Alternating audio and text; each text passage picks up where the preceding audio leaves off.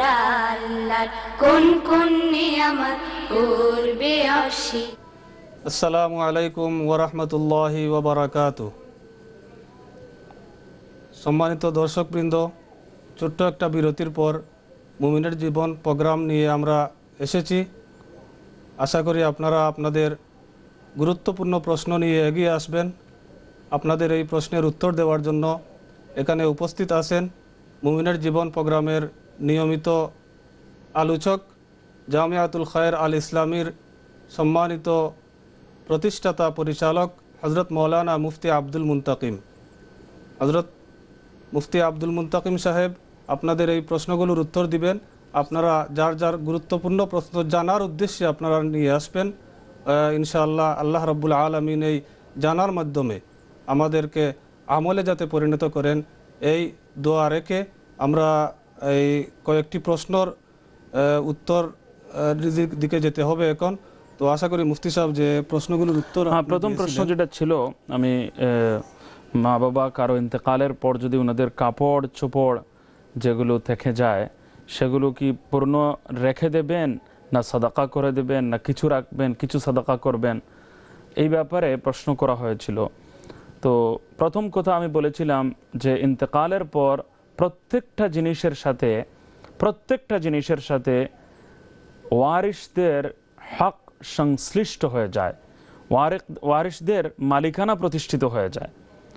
হ্যাঁ ফোকাহে কেরাম, ইসলামের আইন বিশেষজ্ঞগণ মাসালা বর্ণনা করেছেন, কারও ইন্তেকালের পর তার উপর যদি কোনো অবশ্য আদায়যোগ্য কোনো ঋণ যদি থাকে, পরিশোধযোগ্য কোনো ঋণ যদি থাকে, তাহলে সেটা প্রথমে পরিশোধ করা হবে এই তার সম্পূর্ণ টোটাল সম্পত্তি থেকে।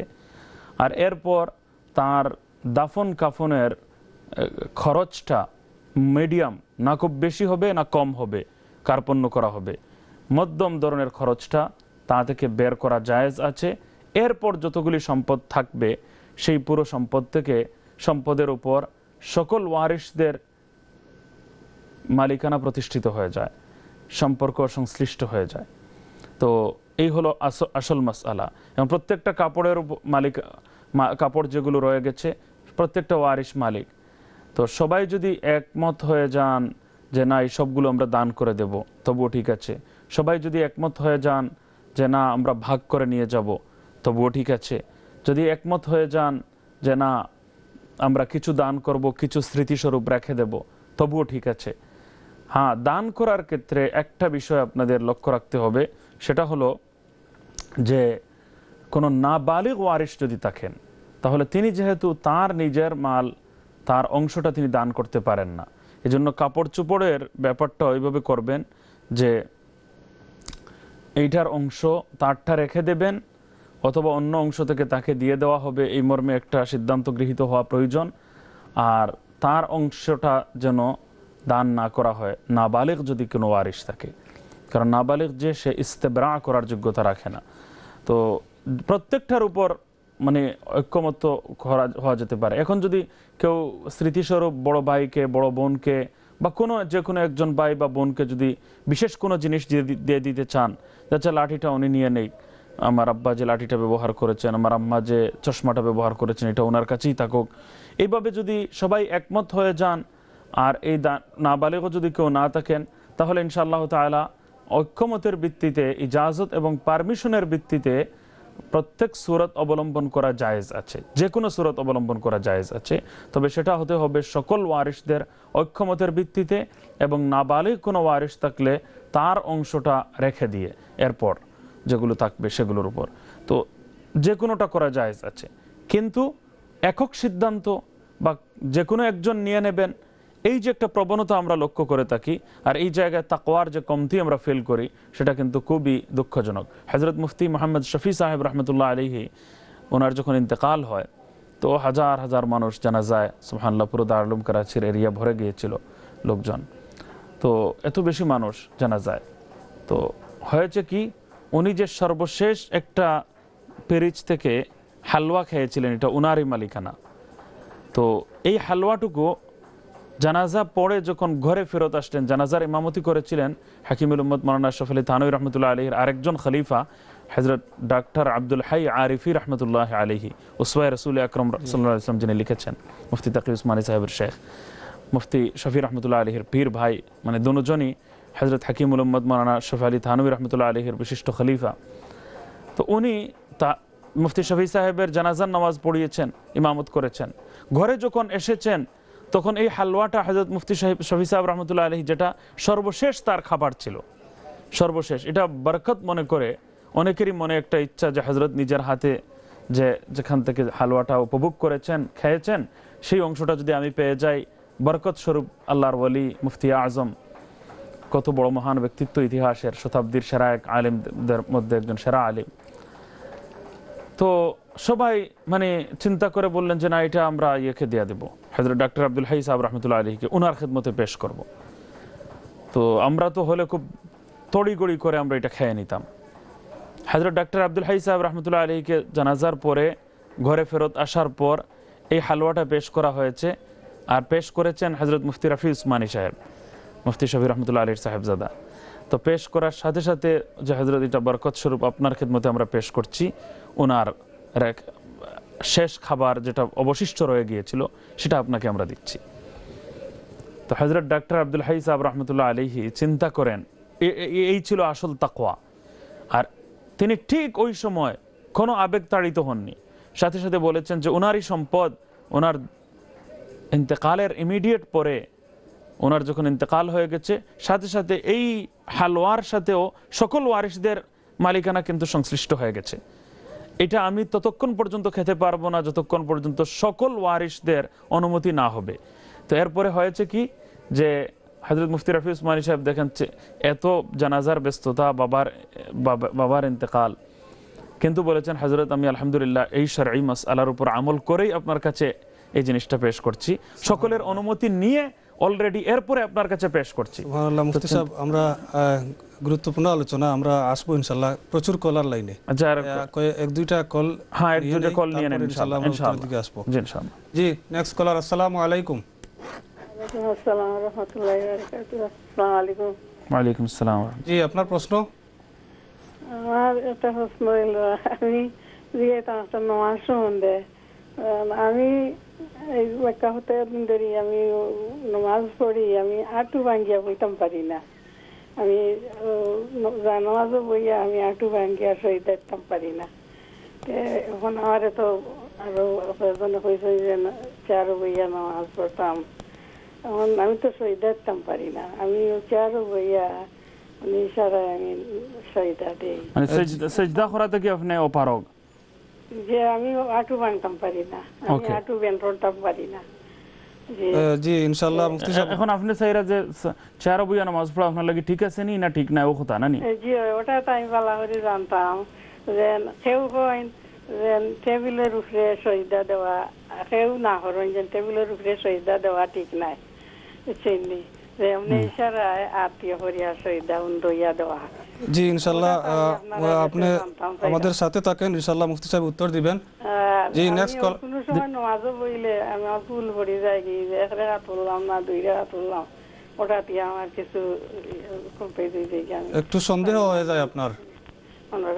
আমারে আমি ফোন রাখলে আপনি ওটা তো আমার পরিবারে ওটা তো আমার প্রোগ্রাম দেখতে থাকুক জি। প্রোগ্রাম দেখতে থাকুক ইনশাআল্লাহ। জি নেক্সট কলার আসসালামু আলাইকুম। হ্যালো কলার আসসালামু আলাইকুম। হ্যালো আসসালামু আলাইকুম। ওয়ালাইকুম আসসালাম রহমতুল্লাহ মুক্তি সাহেব জি মুফতি সাহেব শুনরা আপনার আপনার প্রশ্ন? হ্যালো আসসালামু আলাইকুম। আচ্ছা, আমার সাহেব তিনটা প্রশ্ন আছে। আমি দুইবার কি হজ গেছিলাম? একবার উমরাত গেছি আর একবার গেছি হজ দেখি যে আরবার আমি উমরাত যাইতাম সাইরাম। তে লেবার উমরা হয়নি আর এর বাদে ওই আমরা টাইম তো নাই, মারা গেছেন। তে আমি মানে আমি ফুরুত্তা লিয়া যাইতাম, না একলা যাইতাম পারব ওখানটা হইতা। আর আরও একটা প্রশ্ন হইল ফাঁসক্ত নমাজ আমরা পড়ি, অদূর সময় বলে নিয়ত যদি ওই আমি ওদের নমাজ পড়তাম এর বাদে বলে রেখাত পান্দা লাগে না আল্লাহ পড়ি আচ্ছা এই দ্বিতীয় প্রশ্নটা আবার খুব প্লিজ কোন প্রশ্ন দ্বিতীয় প্রশ্নটা এখন যে প্রশ্ন আপনি কইছেন ওটা তো আবার হোকা আমরা যে সময় অজু করি নমাজ পড়তাম জি।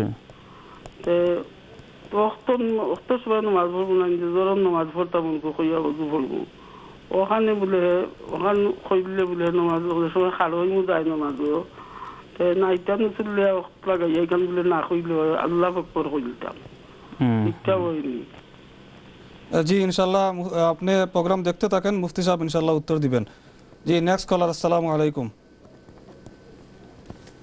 নেক্সট কলার আসসালামু আলাইকুম আসসালামু আলাইকুম ওয়ালাইকুম আসসালাম রহমতুল্লাহ জি আপনার প্রশ্ন হুজুর আমি তো না আমি সকালে উঠতে ফজরের একখান উঠি ধরুন ছয়টা উঠে বাজি যায় সকাল কিন্তু এই ফজরের নামাজের একখান কিন্তু আমি অনেক প্রায় সময় দুই টাকা তেয়াত্তর রোজ নামাজ পড়ি আর দুই টাকা নফল নামাজ পড়ি এটা কি তার ঠিক আছে নি না এটা ফজরের আগে না ওটা জানবার লাগি করছিলাম। ও জরর ফরজ নামাজের আগে হইরানি ফজরের নামাজ আগে আমি উঠি ছয়টা বাজি যাই উঠি ওটা গেল আমি দুই টাকা তেয়াত্তর রোজ রেগুলার পড়ি অজু করি আইয়া আর দুই টাকা নফল নামাজ পড়ি এরপরে ফজর পড়ি এটা কি তার ঠিক আছে নি না জি আচ্ছা ইনশাল্লাহ মুফতি সাহেব উত্তর দিবেন আপনি আমাদের সাথে থাকেন দেখতে থাকেন। ইনশাল্লাহ উত্তর নেক্সট কলার আসসালামু আলাইকুম। জি নেক্সট কলার আসসালামু আলাইকুম। কলটা হয়তো ড্রপ হয়েছে তো জি আপনারা চেষ্টা করেন ইনশাল্লাহ আমরা চেষ্টা করব আপনাদের কল নেওয়ার। এখন আমরা একটু উত্তরের দিকে যাচ্ছি। মুফতি সাহেব এই প্রশ্ন যেটা ছিল এই হ্যাঁ এই যে ফুল প্রাইজ হাফ প্রাইস দিয়ে সব থেকে হ্যাঁ, হ্যাঁ। মহিলা প্রশ্ন করছিলেন ওইটা সম্বন্ধে হ্যাঁ এটা একটা গুরুত্বপূর্ণ প্রশ্ন। হান্ড্রেড পার্সেন্ট প্রশ্নটা আমার সামনে ক্লিয়ার হয়নি। তবে আমার কাছে একটা জিনিস অনুমিত হয়েছে যে ওনার কাছে রিসিট ছিল না কাপড় নিয়ে এসেছিলেন আর এরপরে কাপড়টা শুধু ফেরত দিয়েছিলেন ফেরত দেওয়ার পর তারা নিজেরাই আরেকটা কাপড় তারা ফেরত দিয়ে দিয়েছে। তো ইস্তেহসানান তো জায়েজ হয়ে যাওয়ার কথা, কিন্তু বেশি তাকওয়ার দাবি হলো। কারণ তারা যেহেতু এই ব্যাপারে দোকানওয়ালারা, শপের মালিক যারা, তারা এটা জিজ্ঞাসা করেনি।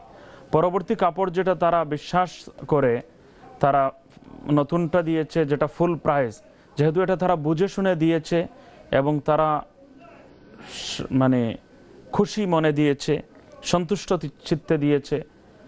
বিধায় আমি মনে করি কোনো কিছুর প্রয়োজন নেই। কারণ তারা এই প্রশ্নটা উত্থাপন করেনি। তারা নিজেরাই এটা উত্থাপন করতে পারতো যে আপনি তখন নিয়ে গিয়েছিলেন হাফ প্রাইস দিয়ে, এখন আমরা আপনাকে সমান কাপড়টা সাইজ ঠিক না হওয়ার কারণে এই কাপড়টাই আমরা দিচ্ছি। কিন্তু এখন যেটা দিচ্ছি, এখন তো আমাদের ফুল প্রাইস চলে এসেছে। তারা এই প্রশ্নটা যেহেতু নিজে উঠায়নি বা তারা ইতিপূর্বে এই কাপড়টাই তাদের কাছে হাফ প্রাইসের ছিল বা সেলের মধ্যে ছিল, এখন তারা তাদের দোকান থেকেই তাদের আরেকটা কাপড় দিয়ে দিচ্ছে। সেই সেলটা এখন আর নেই, আর সেই অফারটা এখন আর নেই। তো তারা যেহেতু এই প্রশ্নটা উত্থাপন করেনি, খুশি মনে দিয়ে দিয়েছে। আশা করি ইনশাআল্লাহ তাআলা এটা সন্তুষ্ট চিত্তে দিয়েছে, এটাই বোঝা যায়। কারণ অনেক সময় এই সমস্ত বড় বড় দোকানওয়ালারা, তারা মাসাল্লাহ অনেকটা খেয়াল রাখে। কাস্টমারদের রাইটস যেটা এটাকে বেশি খেয়াল রাখে যদি কোনো একটা জিনিস বাই মিস্টেক কিছু পরিবর্তন করতে হয় বা এমনিতেই, তাহলে তারা কাস্টমারের এই অসুবিধাটা দূর করে দেওয়ার প্রতি খেয়াল রাখে। আর এটাই তাদের ব্যবসা এবং বাণিজ্যের উন্নতির একটা বড় একটা কারণ। মুসলমানরা এটা করেন না। এই কারণে ওনাদের ব্যবসা আসলে কিন্তু মার খাচ্ছে। মানে কাস্টমারদেরকে বড় বড় ফেসিলিটিস দেওয়ার কারণেই আর কাস্টমারের সঙ্গে ভালো ব্যবহার এটা থাকার কারণেই ব্যবসা কিন্তু একেবারে আকাশে গিয়ে ওঠে এবং অনেক উন্নতি সাধিত হয়। মুসলমানরা এই ধরনের ব্যবহার আমরা অনেক সময় করি না, এটা ইসলামের শিক্ষা থেকে আমরা দূরে এই ব্যাপারে। যাই হোক, কিতাবুল ইকালা এইভাবে ফেরত নিয়ে নেওয়া বা জিনিসটাই ফেরত নিয়ে নেওয়া পুরোটাই, এটার ব্যাপারে ফেকার কিতাবের মধ্যে, ইসলামী আইনের কিতাব এবং বইয়ের মধ্যে পুরো চ্যাপ্টার বিদ্যমান রয়েছে। কিন্তু এই কাজটা করে অন্যরা, আমরা করি না অনেক সময়। যাই হোক, এরপরে যদি আপনার সন্দেহ থাকে যে না, তারা ধোকাগ্রস্ত ছিল, তারা প্রতারিত ছিল, তারা হয়তো বুঝেনি, তারা যদি এটা বুঝতো, তাহলে মেবি না দিত- দিত। এত বেশি সন্দেহ যদি পোষণ করেন, তাহলে আপনি ওই দোকানকে গিয়ে জিজ্ঞাসা করবেন যে, আমি তো হাফ প্রাইসের একটা কাপড় আপনাদের কাছ থেকে নিয়ে গিয়েছিলাম এরপরে তাদের একজন দায়িত্বশীলের সঙ্গে গিয়ে আলাপ করে নেবেন এবং বলবেন যে, এইভাবে আমি নিয়ে গিয়েছিলাম। এরপরে আমি যখন রিসিট ছিল না, ফেরত যখন এনেছি, আপনারা এই কাপড়টা আমাকে মানে পাল্টে দিয়েছেন, বদলে দিয়েছেন, নতুন কাপড় দিয়েছেন, আর এটা ছিল ফুল প্রাইসের কাপড়। এইরকম করাতে আপনারা তো বুঝে শুনেই দিয়েছেন, আশা করি। যদি তারা বলে হ্যাঁ হ্যাঁ ঠিকই আছে, তাহলে আপনার জন্য তো এটা একেবারে হান্ড্রেড পার্সেন্ট ঠিক। আমার ধারণা মতে আগেই ঠিক, কিন্তু আপনি যদি সন্দেহ থেকে দূরে থাকতে চান আর আরও বেশি তাকওয়ার উপর আমল করতে চান, তাহলে ইনশাআল্লাহ তাহলে আপনি গিয়ে জিজ্ঞাসা করে নিতে পারেন। তারা যদি এর মধ্যে সম্মতি দিয়ে দেয়, তাহলে সেটা ঠিক আছে। আর না হয় আপনি বাকি পয়সা যেটা, সেটা ওই দোকানকে দিতে হবে, যেহেতু দোকান ফিক্সড অন্য যে কোনোভাবে আপনি দিয়ে দেবেন, তাদেরকে পদ্ধতি জিজ্ঞাসা করবেন যে না, এই পয়সাটা আপনারা নিয়ে নেন, আর এরপরে আপনারা এই জিনিসটা কোনো একটা ওই প্রাইসের জিনিস আমি নিয়ে নেব সেটা আমি দোকানে রেখে দেবো। যেভাবে এটা কোম্পানির মালিকানায় চলে যায় এইরকম একটা ব্যবস্থা চিন্তা করে নেবেন। একজন আমিন সম্বন্ধে সুরায় ফাতিহার পরে গড়ে উনি আচ্ছা এর আগে আরেকটা প্রশ্ন রয়ে গিয়েছিল। একজন গরিব ছাত্রকে উনি বোন প্রশ্ন করেছিলেন যে উনি একটা খাসি মান্যত করেছিলেন। একটা খাসি মান্যত করেছিলেন তো এখন এই পয়সাটা খাসি না দিয়ে খাসি না দিয়ে যদি একজন গরিব ছাত্রকে তার কলেজের খরচ বাবদ দিতে পারেন হয়ে যাবে আপনার তবে খাসির পূর্ণ দাম দিতে হবে। এর মধ্যে কোনো কমতি যেন না হয়। খাসির যে পূর্ণ দাম সেটা দিতে হবে। এই হলো এক শর্ত। দ্বিতীয় শর্ত হলো যাকে দিচ্ছেন তিনি জাকাত নেওয়ার উপযুক্ততা যেন রাখেন। মানে এই মুহূর্তে তিনি যেন নেশাব পরিমাণ সম্পদের নিজে মালিক না হন। এই দিকটা আপনাকে নিশ্চিত হতে হবে। যদি এই নিশ্চয়তা থাকে যে তিনি এই মুহূর্তে নেশাব পরিমাণ সম্পদের মালিক নন অর্থাৎ তার উপর জাকাত ফরজ হয়ে যায় এই পরিমাণ নেশাবের পরিমাণ যেটা হতে পারে তার মালিকানা নেই। যদি নেশাবের পরিমাণ না জানেন তাহলে আলাদাভাবে আরেকবার প্রশ্ন করবেন। তো এই দুইটা জিনিস থাকলে আর পূর্ণ খাসির দাম যদি দেন তাহলে আপনার আদায় হয়ে যাবে মান্যত পূর্ণ হয়ে যাবে ইনশাআল্লাহ। আমিন সম্বন্ধে একজন হ্যাঁ মসজিদের মধ্যে সুরায় ফাতিহার পরে সাধারণত ইমাম সাহেব যখন গায়রিল মাগদুবি আলাইহিম ওয়ালাদ-দাল্লিন বলেন তখন আমিন বলতে হয় তো কেউ বা আস্তে বলেন কেউ বা জোরে বলেন হানাফি mazhab অনুযায়ী আস্তে বলাটা উত্তম এর অনেক দলিলও রয়েছে। যাই হোক এটা নিয়ে আলোচনার জন্য এই প্রশ্ন করা হয়নি। একা যখন পড়বেন তখনও কিন্তু আমিন বলবেন। তখনও আমিন বলবেন এটা শুধু নামাজের জামায়াতের সঙ্গে খাস নয়। হ্যাঁ যে এটা তো নামাজের সঙ্গে প্রত্যেক গায়রুল মাগদুবি আলাইহিম ওয়ালাদ-দাল্লিন বলার পর আমিন একা যখন নামাজ পড়বেন তখনও পড়বেন ইনশাআল্লাহ। জি আরেকটি প্রশ্ন একজন মহিলা আচ্ছা আরেক প্রশ্ন যে তিনি দোয়ায় মাসুরার কথা বলেছেন তো দোয়ায় মাসুরা আসলে তো তিনি কোনো প্রশ্ন করেননি তবে শুধু মাসুরা শব্দের অর্থটা আমি বুঝিয়ে দেই। দোয়ায় কনুত হলো একটা উইতিরের নামাজে পড়া হয়। শেষ রাকাতে, তৃতীয় রাকাতে সূরা কেরাত পড়ার পর আল্লাহ আকবার বলে, হাত বেঁধে আল্লাহ ইন্না আইনুকা ওয়া নাস্তাগফিরুকা। এটা হলো দোয়ায় কনুত। আর নামাজ, মাসুর শব্দের অর্থ হলো যেটা বর্ণিত দোয়া, মানকুল, মাসুর, মানকুল। অর্থাৎ কোরআন হাদিস দ্বারা যে সমস্ত দোয়া বর্ণিত রয়েছে, নামাজের মধ্যে পড়ার জন্য বর্ণিত রয়েছে বা টাইম টু টাইমস পড়ার জন্য বর্ণিত রয়েছে, যেগুলো মানকুল এবং বর্ণিত, যেগুলো রিপোর্টেড তো এই সমস্ত দোয়া মানে হাদিস দ্বারা প্রমাণিত, কোরআন দ্বারা প্রমাণিত, হয়তো টাইম টু টাইমস পড়ার জন্য প্রমাণিত, বিভিন্ন সময়ে পড়ার জন্য অথবা নামাজের বিভিন্ন সময়ের মধ্যে পড়া প্রমাণিত, বর্ণিত। সেই সমস্ত সবগুলো দোয়াকেই দোয়ায় মাসুরা বলা হয়। মাসুরা মিন মানকুলা অর্থাৎ বর্ণিত বা যেগুলোর বর্ণনা করা হয়েছে। তো নিজের পক্ষ থেকে নয়। তো আশা করি ক্লিয়ার হয়েছে। তো এই জন্য দোয়ায় মাসুরা তো অনেকগুলো আছে। আরেকটি প্রশ্ন একজন বোন করেছিলেন যে উনি বসতে পারেন না বা উনি সজিদা দিতে পারেন না। হ্যাঁ হাঁটু ব্যান্ড হয় না ওনার। এই অবস্থা যদি হয় তাহলে অবশ্যই আপনি চেয়ারে বসে নামাজ পড়তে পারেন। চেয়ারে বসে আপনি নামাজ পড়তে পারেন, তবে যদি দাঁড়ানোর ক্ষমতা থাকে তাহলে আপনি দাঁড়াবেন, এই পরামর্শ আমি দিচ্ছি। অনেক সময় অনেকেই বলছেন ফোকাহায় কেরাম একটা কথা ফেকার কিতাব সমূহের মধ্যে উল্লেখ করা হয়েছে যে যদি কেউ সেজদা প্রপারলি করতে পারে না, যেভাবে প্রপারলি সেজদা করা হয়, এইভাবে যদি কেউ সেজদা করতে না পারে, তাহলে তার কেয়ামের ফরজিয়ত সাকিত হয়ে যায়। অর্থাৎ দাঁড়ানোর যে ফরজ হওয়াটা, সেটা রহিত হয়ে যায় সেটা আর তার উপর জরুরি থাকে না। মানে দাঁড়ানো আর জরুরি থাকে না, যেহেতু প্রপারলি সে সেজদা করতে পারল না। এই একটা কথা হেদায়ার মধ্যেও আছে, ফেকার কিতাবগুলিতে আছে। কিন্তু রিসেন্টলি হজরত শেখুল ইসলাম মুফতি তাকি উসমানী সাহেব ওনারা যে তাহকিক করেছেন এর মধ্যে অ্যাডিশনাল হলো যে কেয়াম যেহেতু ফরজ, কেয়াম আলাদা ফরজ, সেজদা আলাদা ফরজ। কেয়াম মানে দাঁড়ানো, নামাজের মধ্যে দাঁড়ানোটা হলো একটা পৃথক ফরজ, সেজদা পৃথক একটা ফরজ।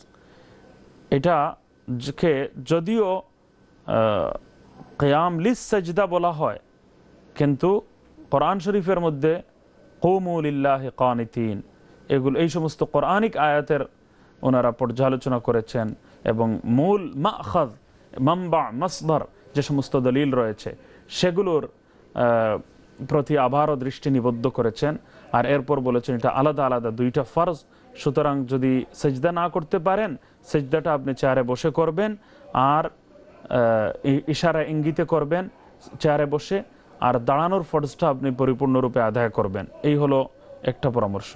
দ্বিতীয় পরামর্শ, যেহেতু হাঁটু ব্যান্ড করতে পারেন না এই জন্য আপনার জন্য প্রপারলি নিয়মতান্ত্রিকভাবে যেভাবে সেজদা সাধারণত করা উচিত, করা হয়, সেভাবে তো আর সেজদা করা আপনার জন্য জরুরি নয়।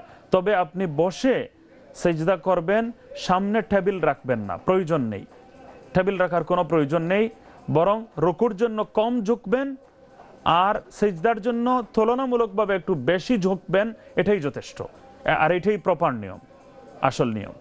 কোনো কিছু রাখা জরুরি নয়। অনেকে মনে করেন টেবিল রাখতে হবে এটা জরুরি নয়। অনেকে মুফতি সাহেব হাত এরকম আগে মানে সেজদার জন্য রাখেন। না হাতও আগানো কোনো প্রয়োজন নয়। রুকুর মধ্যে একটু কম ঝুঁকবেন তুলনামূলকভাবে আর তুলনামূলকভাবে সেজদার জন্য একটু বেশি ঝুঁকবেন। রুকুর সময় রুকুর নিয়ত করলেন সেজদার সময় সেজদার নিয়ত করলেন বাস হয়ে যাবে সেজদার। এটাই প্রপার নিয়ম। জাজাকাল্লাহ আরজন ভাই প্রশ্ন প্রশ্ন করছিলা যে লেবারের পয়সা দি পয়সায় হজ হবে কিনা? যে ওনার আরেকটা প্রশ্ন ছিল যে উনি ভুলে যান যে এক রাখাত না দুই রাখাত উনি পড়ে পড়েন সাধারণত। ওনার আরেকটা প্রশ্ন ছিল ওই আচ্ছা, ওই মহিলারই। যে উনি এই কথাটা ভুলে যান যে এক রাখাত পড়েছেন না দুই রাখাত পড়েছেন? তো যে যে রাখাতে আপনার সন্দেহ হবে, আপনার জন্য একটা পরামর্শ, তো আপনার এক রাখাত পড়েছেন না দুই রাখাত পড়েছেন? এখন তো আপনার ধরে নেবেন এক রাখাত আবার দুই রাখাতের সম্ভাবনা আছে, বিদায় আপনি বসে পড়বেন। বসে আত্মাহিয়াত পড়বেন, কারণ দুই রাখাতের পরে একটা সিটিং পজিশন আপনাকে অবলম্বন করতেই হয়। তো দুই রাখাতের পর, এটা শেষ রাখাত হোক, আর দুই রাখাত হয়ে গেছে প্রতি দুই রাখাত পরে একবার বসতে হয়। তো দুই রাখাতের সম্ভাবনা আছে, বিদায় বসে পড়বেন। এক রাখাতের সম্ভাবনা আছে, বিদায় দাঁড়িয়ে যাবেন। বসবেন দুই রাখাতের সম্ভাবনা হওয়ার কারণে। পসিবিলিটি বা সম্ভাবনা দুই রাখাতেরও আপনার মনের মধ্যে আছে যে মেবি দুই রাখাত আমি পড়ে নিয়েছি। তাহলে এই সম্ভাবনার দাবি অনুযায়ী আপনি বসবেন আত্মাহিয়াত পড়বেন। আর আত্মাহিয়াত কমপ্লিট করার পর, কারণ ওই আত্মাহিয়াত পর্যন্ত বসা এবং আত্মাহিয়াত পড়ে নেওয়া এটা এক সম্ভাবনা আপনার মনের মধ্যে ছিল দুই রাখাত হওয়ার ব্যাপারে, সেই সম্ভাবনার দাবি অনুযায়ী আপনি বসে পড়লেন। আর এরপরে আবার দাঁড়িয়ে যাবেন, এটা হলো এক রাখাত হওয়ার ব্যাপারেও তো সম্ভাবনা আপনার মনের মধ্যে আছে। তো আপনি দ্বিতীয়, এর পরবর্তী রাখাত পড়ার জন্য আপনি দাঁড়িয়ে যাবেন, আর সেটাও পড়বেন। যতক্ষণ এই সম্ভাবনা থাকবে, ততক্ষণ আবার এইভাবে তাহিয়াত পড়তে থাকবেন, বসতে থাকবেন। কারণ যদি চার রাখাত বিশিষ্ট নামাজ হয়, তাহলে আপনি তৃতীয় রাকাত হতে পারে বা চতুর্থ রাকাত হতে পারে, দুইটার সম্ভাবনা। তো চতুর্থ রাকাতের দাবি অনুযায়ী এরপরের রাখাতেও আপনাকে বসতে হবে, সম্ভাবনা আছে বিদায়। আর দাঁড়াতে হবে আবার চতুর্থ রাকাত পড়ার জন্য।